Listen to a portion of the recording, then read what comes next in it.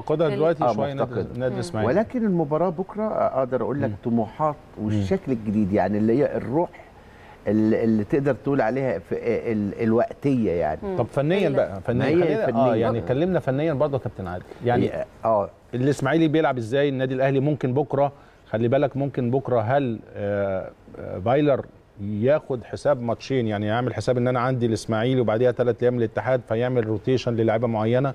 يعني ممكن من دلوقتي محدد أنا هبدأ ماتش الإسماعيلي بلعيبة وهبدأ ماتش الاتحاد بلعيبة تانية. هو أفتكر يعني من وجهة نظري المتواضعة إنه إنه فايلر عنده ستة point يحسم بيهم دوري. فممكن يلعب الإسماعيلي والاتحاد آه بالأساسيين أو خلاص ما يعملش rotation في الوقت ده لأنه عنده بطولة أفريقيا اتأجلت.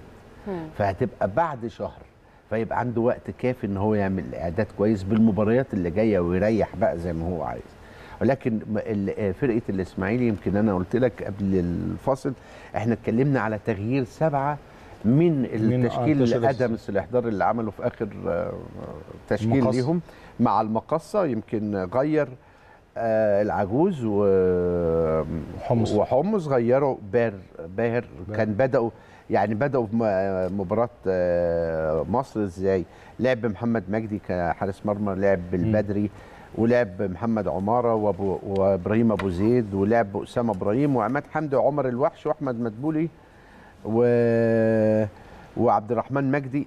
ف... ولعب باثنين آه، شولونجو المحترف. ف... ف... فاللي أنا عايز أقول لك إن هو التغيير السبعه ده تقدر تقول وغير طريقة اللعب. هم كانوا دايما بيلعبوا أربعة أربعة واحد واحد. دلوقتي بدأ اللعب بيها الماتش اللي فات لعب أربعة اتنين تلاتة واحد. ما افتكرش إنه يلعب كده قدام النادي هيرجع ل 4 1 4 1 أنا أنا أنا حاسس بكده لأنه تشكيلته نفسها وهيلعب بآخر ناس اللي كسب بيهم. فالمباراة آه يعني هيبدأ بنفس التشكيل اللي نهى بيه. يعني. آه أكيد يعني لأنه عندك تشكيل خسران خسارة كبيرة من المقصة وعندك تشكيل كسبان كسبان. مكسب كويس. وعندك مدير فني هيتفرج عليهم. فانت هتبقى في حيرة.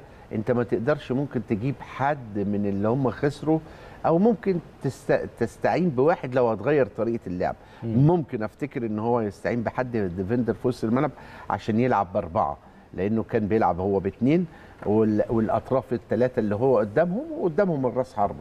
فأكيد هينزل. بالاثنين اللي تحت ممكن عبد الرحمن مجدي هي... هيبقى متواجد لأنه الوحيد اللي كان متواجد هو ومحمود البدري والاثنين اللي كانوا متواجدين في المباريتين يعني ومحمد عمر.